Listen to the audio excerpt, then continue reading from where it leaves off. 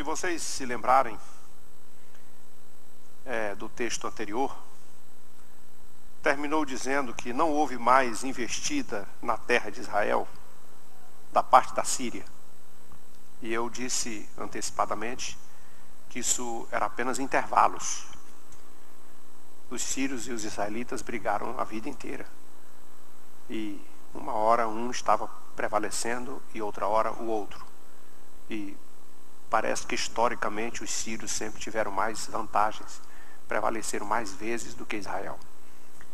Naquele dia que Eliseu é, cegou o exército dos sírios e entregou na mão de Samaria e mandou alimentá-los, então eles reagiram conforme a benevolência do rei de Israel e acalmaram e cessaram um pouco as guerras. Mas agora o texto já no versículo seguinte já diz que Benadad, rei da Síria, ajuntou todo o seu exército e sitiou a Samaria. Então você pode imaginar as portas das cidades, as cidades eram muradas e trancadas. E então o exército inimigo, não tendo como entrar, porque a cidade é fortificada, cerca a cidade com exércitos valentes, soldados, carros e armas. E os, os israelitas, os samaritanos, não podem sair da cidade. Então, uma semana, duas semanas, um ano, sei lá quanto tempo demorou, meses. Foi acabando o mantimento, foi acabando os recursos. E provavelmente, geralmente quando acontecia isso, inter, interceptava os rios e deixava todo mundo naquela crise tremenda. Então Israel passou a viver nesse contexto uma das suas maiores crises de fome. O texto aqui menciona em algum momento que uma multidão de israelitas já tinha morrido e que a outra multidão morreria da mesma forma, porque não havia outra, outro recurso. Eles estavam todos morrendo à míngua.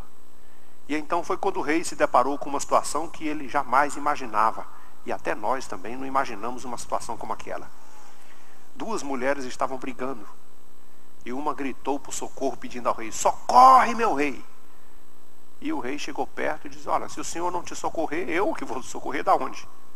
da eira, do lagar, ou seja, se precisar de trigo não tenho, de uva também não. Aqui não tem absolutamente nada. Mas o que é que você tem? Agora vejam a história dessas mulheres. Elas negociaram a, a comer os próprios filhos. Eu combinei com essa mulher que ontem nós íamos comer, cozinhar um meu filho e comer o meu filho junto com ela. E no outro dia íamos comer o filho dela.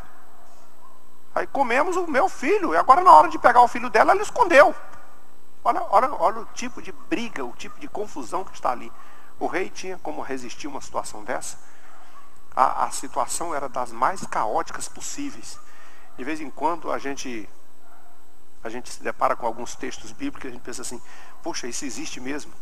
É, eu não estou lembrado agora a referência, mas o texto uma, uma das, dessas profecias dizia que haveria uma, uma, situação em que uma mulher dessas bem delicadas, as mais delicadas de todas, que até para pisar no chão, ela não tem, ela é tão delicada que não pisa nem no chão, diz que essa mulher será capaz de dar à luz a um filho e comer esse filho escondido de todo mundo da casa para não dividir com ninguém.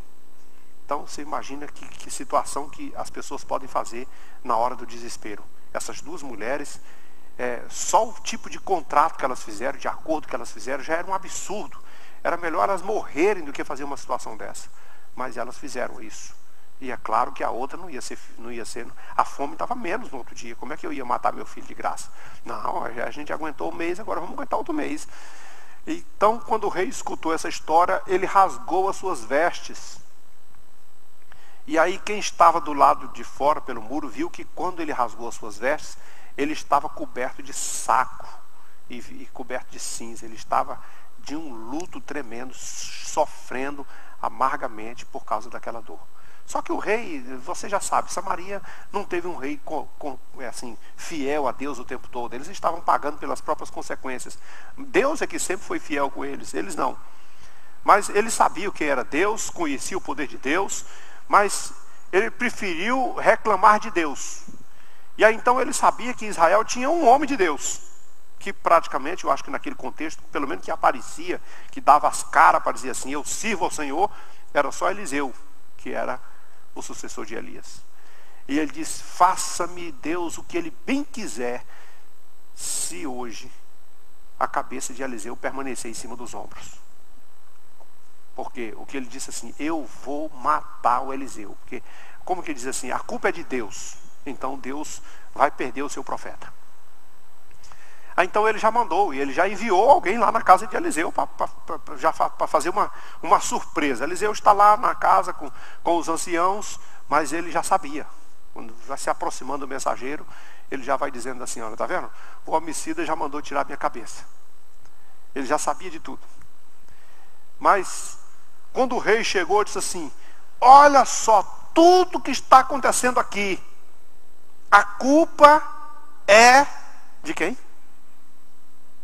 A culpa não é dos sírios, a culpa não é do pecado da nação, a culpa não é dos homens que não temeram o Senhor, a culpa não é das circunstâncias adversas, não, a culpa, a culpa é de Deus. Foi isso que o rei falou. Tudo que está acontecendo aqui, a culpa é de Deus. Eu não sei se você já percebeu, mas direta ou indiretamente, em muitas das situações, cristãos desesperados em situações complicadas como essa, ou até menos do que essa, coloca a culpa em Deus de tudo que aconteceu. Estou passando isso aqui porque Deus, porque Deus não viu, porque Deus não fez. Isso já é uma coisa de origem lá do começo, que Adão jogou a culpa é, né, na, na, na, Eva, a Eva jogou para a serpente, e, e, Adão acabou dizendo que era Deus o culpado. Eu só estou assim porque foi a mulher que tu me deu. Então, de outras palavras, quem me deu foi a mulher, foi tu, então a, a culpa é tua. É, é uma tendência do ser humano de, de murmurar, de reclamar, de, de atribuir, de transferir a sua responsabilidade para quem quer que seja e até para Deus. E aí então ele diz assim: é culpado Deus. O que, aí, aí ele ainda disse mais uma coisa: o que é que eu posso esperar do Senhor? Você está acostumado desde o Antigo Testamento, nos primórdios da Bíblia Sagrada, o Senhor sempre orientou o seu povo a esperar por Ele, confiar nele. Entrega o teu caminho para Ele, anda com Ele, espera no Senhor. Olha o Salmo 37, descansa no Senhor, espera nele. Entrega o teu caminho ao Senhor, confia nele. Mas o rei estava tão aborrecido e tão revoltado, e é, até que, é, olhando para o quadro que ele estava enfrentando, ele não tinha razão porque ele já era um ímpio, de, já não tinha um temor de Deus o tempo todo. Mas ele estava na sua carne, na sua carnalidade, dizendo, Deus é o culpado de tudo que eu estou fazendo, passando, e eu não tenho outra coisa para esperar de Deus. O que, é que eu poderia esperar de Deus? Em outras palavras, é, chega algum momento na vida do ser humano, eu acredito que já chegou na sua e na vida de todos nós, uma situação que você pensa assim, essa aqui não tem jeito não. Essa aqui nem Deus dá jeito. Não sei se você já pensou assim. Isso aqui é uma coisa absurda. Isso aqui não tem remédio. E eu acredito que foi mais ou menos isso que o profeta, que o rei quis dizer. Eu não tenho mais como esperar de alguma coisa. Por isso Eliseu resolveu falar uma coisa impossível. Porque lá em Samaria, eles estavam vendendo uma cabeça de jumento. Isso era para comer, tá? Uma cabeça de jumento por 80 ciclos de prata. Não é o filé, não é a alcatra, não é a perna, a coxa, o mocotó. Não, a cabeça de um jumento por 80. Você já comeu carne de jumento? Você nem pode imaginar, né?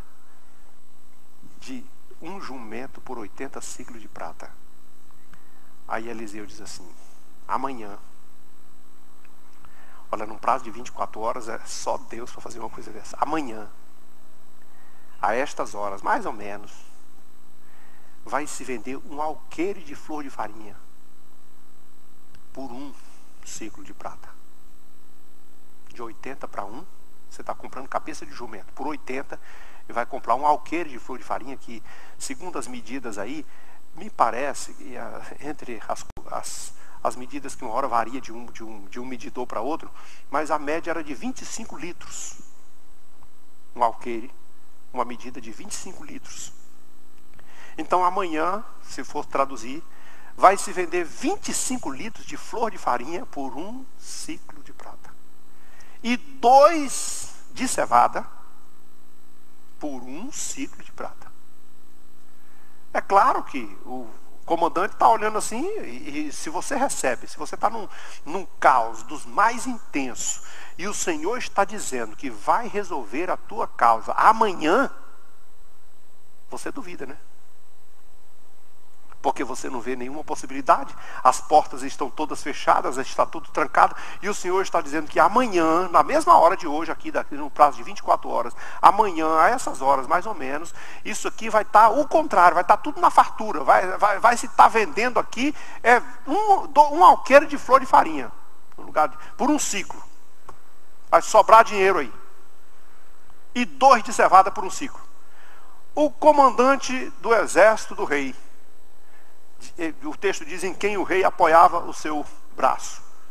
O braço direito do rei. O braço direito do rei diz assim: Olha, com todo respeito aqui, né, numa paráfrase nossa, mesmo que Deus abrisse janela no céu e derramasse essas coisas aí, isso seria impossível de acontecer. O que, que Deus queria mostrar com isso aí? O que Deus queria mostrar era exatamente o seguinte: é impossível, não é? Mas amanhã eu resolvo. Você não tem saída, você não acredita em nenhuma possibilidade, né? Pois então me aguarde até amanhã, nessa hora mais ou menos.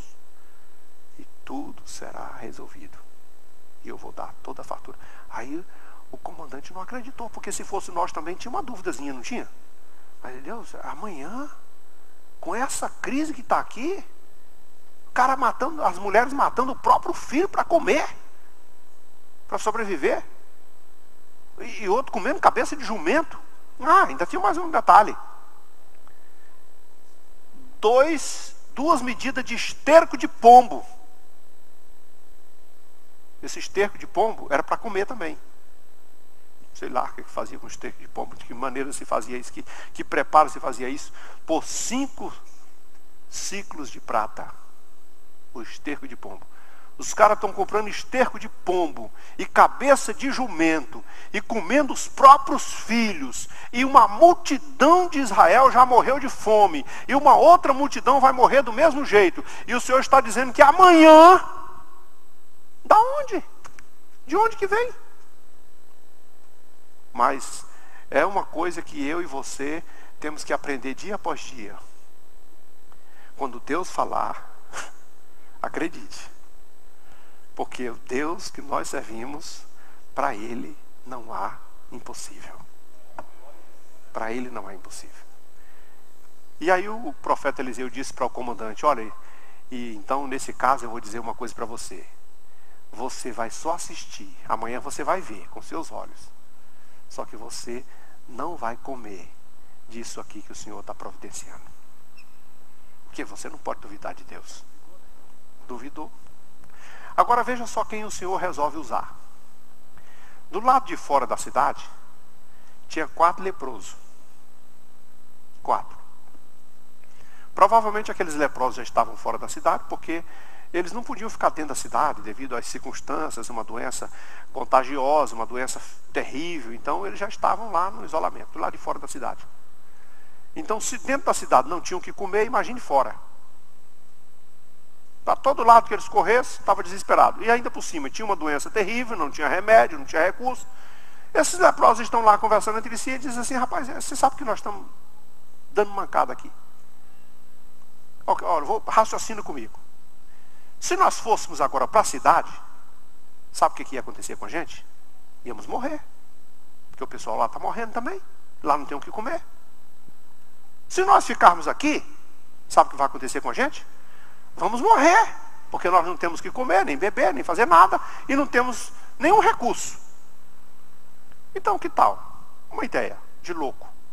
Vamos lá no Arraial dos Sírios? Vamos entrar lá, eu sei que tem comida a valer, porque eles estão na, em alta. Aí vamos supor que lá eles resolvam dar alguma, algum pedaço de pão para a gente, alguma coisa para a gente comer, né? Estou imaginando aqui. Vamos ver que lá eles têm a misericórdia da gente e não nos mate e dê alguma coisa para a gente comer, a gente salva.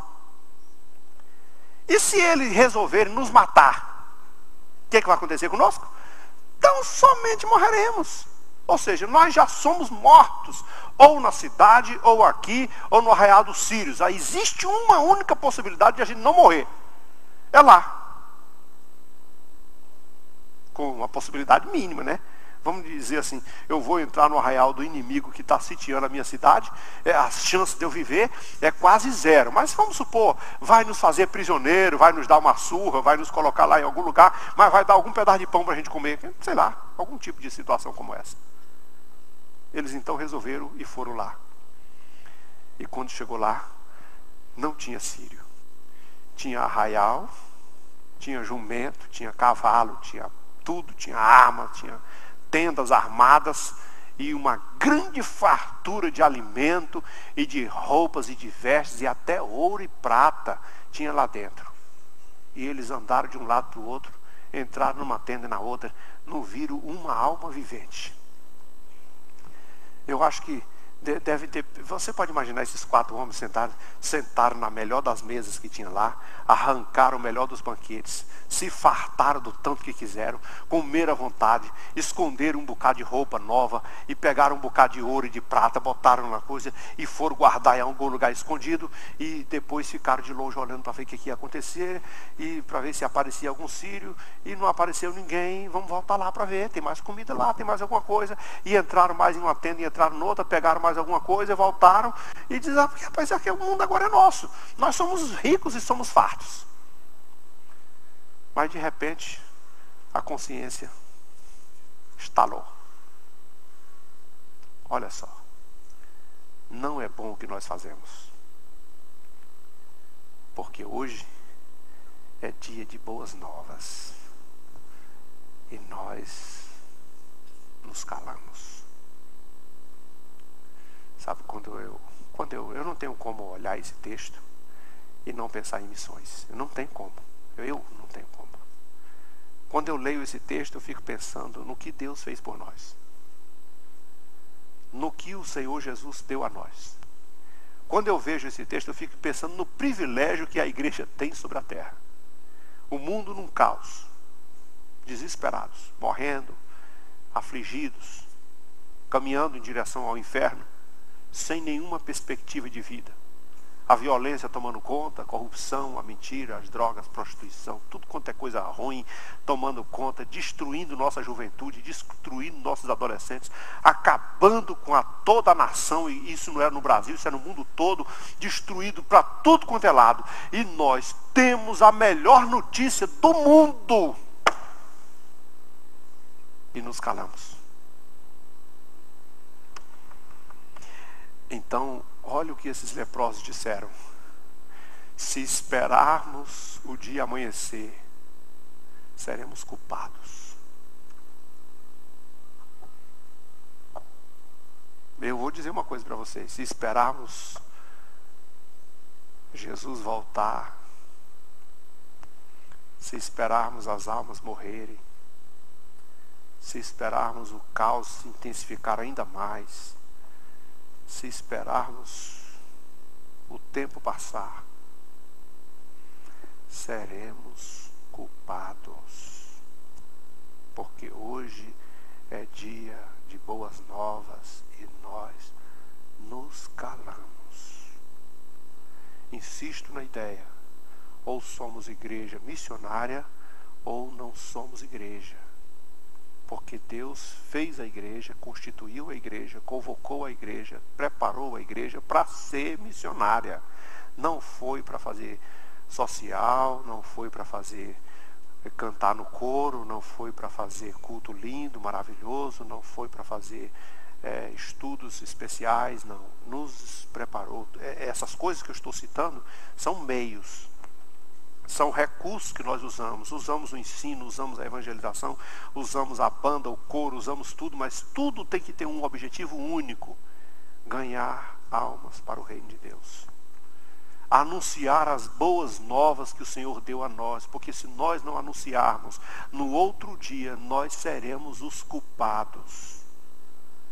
A Bíblia diz assim: um atalaia ficava lá em cima da torre, vigiando o adversário se aproximar. E o inimigo vinha de longe e ele estava lá numa, numa visão privilegiada e ele dava o grito. e aí veio o inimigo. E o povo se preparava e enfrentava o inimigo.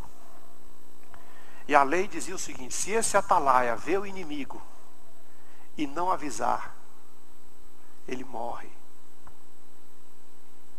Porque ele é o culpado, não avisou.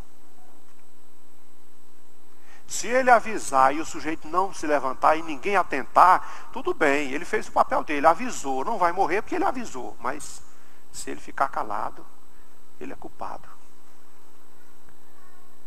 Olha, a responsabilidade é nossa. Nós temos as boas novas.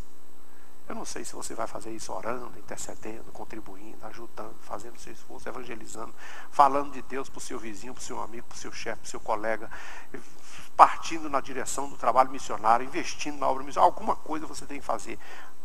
Mas hoje é dia de boas novas e nós não podemos nos calar. Essa é a verdade do Evangelho. Aí então aqueles moços vieram e disseram assim, sabe uma coisa? Não vamos esperar a noite, o dia não. Vamos lá agora, agora, nesse minuto, é agora. É urgente, irmãos. Boas novas é coisa urgente. Não é para amanhã, é para agora. Vamos anunciar lá no arraial, vamos anunciar lá na porta de Samaria, lá no, na porta do, da cidade. E eles chegaram lá e disseram assim: Ó, oh, avisa para o rei que não tem ninguém no arraial dos sírios, está tudo deserto. Lá só tem tenda, cavalo amarrado, jumento e uma coisa, tudo lá, tudo abandonado. Não sei o que aconteceu lá, mas está tudo assim. A notícia correu pela cidade toda, daqui a pouco acordaram o rei, porque era de madrugada. O rei voltou e disse assim: Vocês são ingênuos. Eu vou dizer o que, é que aconteceu. Os sírios se esconderam, está sabendo que a gente está aqui morrendo de fome e estão fazendo uma emboscada para a gente. Quando a gente sair fora para ir buscar, eles atacam a gente, pegam a gente vive e entra na cidade. É o que eles querem. É, mas só que nós não temos jeito. O comandante diz assim: ou vivo, ou de um jeito ou de outro, nós vamos morrer todos. A multidão que já morreu não é nem um pouco diferente da que está aqui, vai morrer também. Então, olha, tem aí uns cinco cavalos sobrando. Irmãos, nós estamos dentro de uma cidade. E eles disseram que restavam cinco cavalos. Nós estamos dentro de uma cidade que tem exército, que tinha, era uma potência, é, era a capital de dez tribos. Tem aí uns cinco cavalos sobrando. Pega aí um, um carro e, e alguns cavalos e pega esses cavalos e bota pelo menos dois homens lá para ir verificar se isso é, é verdade ou não, porque se morrer, morre os dois que estão lá, alguma coisa. O rei concordou e eles foram lá. E olha só o que Deus fez. Deus não fez nadinha, irmãos, a não ser barulho.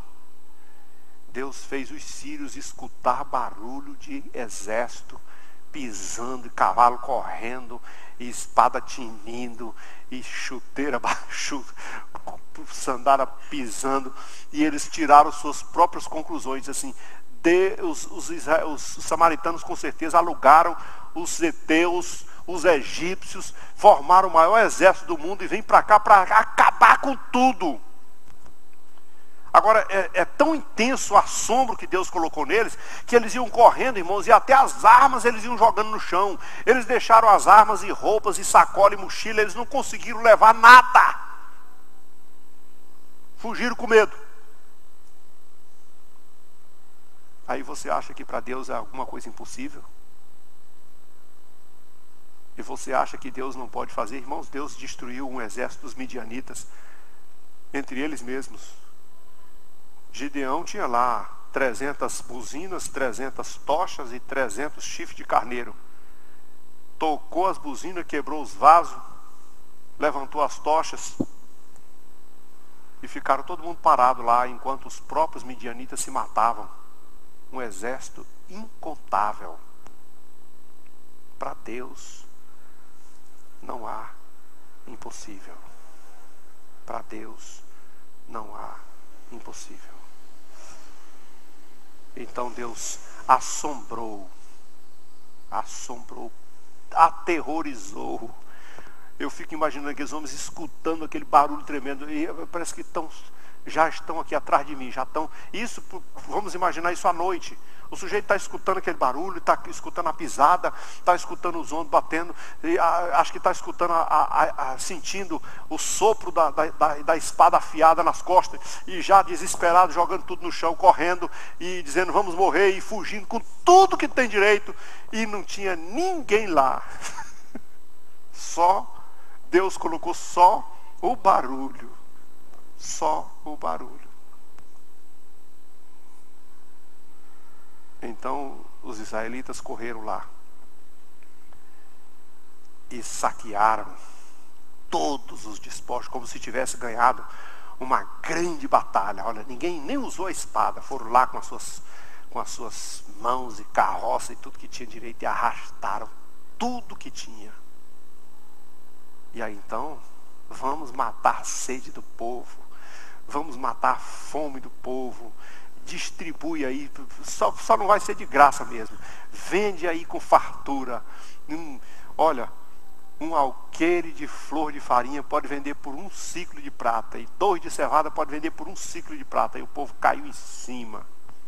Agora, você pode imaginar que numa demanda como essa, o povo vem de lá para cá, né? E, e vem para a porta da cidade e vem gente de lá, de um lado e de outro, e, e fica todo mundo naquela ansiedade para entrar, está chegando o mantimento, está todo mundo com fome, e derruba aqui, derruba dali, e o rei pensou, ah, tem que botar alguém para comandar aquilo ali. Capitão, você é o meu comandante, braço direito, homem forte, toma conta dessa porta. E a multidão, do jeito que veio, passou por cima dele e matou. Tanta gente para morrer morreu esse cara. Não morreu um cachorro. Não morreu um cabrito. Não morreu um menino. Não morreu um idoso. Uma velhinha. Não morreu um soldadinho raso, daqueles fraquinhos. Morreu o braço direito do rei. Só porque ele falou assim: Isso é impossível. E o profeta falou assim: Você vai ver. Comer não. Você não vai comer não. Para você saber que para Deus não há impossível. Você sabe que o Herodes morreu comido de bicho. Porque ele resolveu não dar glória a Deus. Só porque ele achou que não devia dar glória a Deus. Esse comandante não está diferente dele, não. Eu não acredito nisso, eu não creio nisso, isso é impossível, não tem jeito, não tem não. Mas você vai assistir com os teus olhos, você vai ver cara a cara. Mas quando ele descuidou com a porta, o povo entrou por cima e passou atropelando e o matou. Queridos, vamos pensar nas nossas lições de vida? Eu sempre gosto de me lembrar que tem umas lições aqui que são muito boas. A primeira delas, seja lá o que estiver passando na sua vida, escolha não murmurar contra Deus. Seja lá por quanto tempo você está esperando e qual situação você está passando e qual tribulação você vem vivendo, escolha, escolha, decida não botar a culpa em Deus. Segunda lição, mais uma. Quando Deus falar com você, quando Deus, você perceber que Deus usou a sua voz e falou com você, e usou alguém para falar com você, você pode ter certeza que vai ser cumprido. Não adianta nem questionar. Não, não duvide, não, não questione, só dê glória a Deus e diz, Senhor, aguarda a tua graça, a tua vontade, e glória a Deus seja dada ao teu nome. Porque o Senhor não falha com a sua promessa. Ele é Deus. Ele é Deus. Mas tem mais umas lições lá fora da cidade. Que para mim essa lição dos leprosos, é, é, eu, eu fico imaginando que Deus escolheu as pessoas mais insignificantes da cidade. Olha só. Porque os leprosos eram talvez as únicas pessoas que em alta na cidade não prestavam para nada. Provavelmente, se a cidade estivesse saudável e, e, e, cheia de fartura, aqueles leprosos não tinham a menor utilidade. Você pode imaginar o que Deus está falando com você? você já se achou inútil, você achou que não tem capacidade, que não tem competência, que você é um lixo, que você é isso, que você é aquilo, e Deus quer usar exatamente você. Porque Deus escolhe as coisas vis desse mundo, as desprezíveis e as que não são, para confundir as que são. Os leprosos se achavam inúteis mas salvaram a cidade inteira. Inteira. Tem mais lições dos leprosos? Ah, como tem, como tem. Não se cale. Não deixe de ser um portador de boas novas se você recebeu tanta dádiva de Deus, tanta graça de Deus, a salvação que você recebeu, o privilégio que você tem de ter a vida eterna em Cristo Jesus. Não deixe de contar isso para ninguém não. Você tem vizinho, você tem pai, você tem mãe, você tem irmão, você tem parente que vai para o inferno se você não contar para ele. Hoje é dia de boas novas e nós nos calamos. Quando Deus promete a sua abundância é incomparável. acima de tudo, eu creio numa coisa muito boa. Vale sempre a pena confiar no Senhor. Vamos agradecer.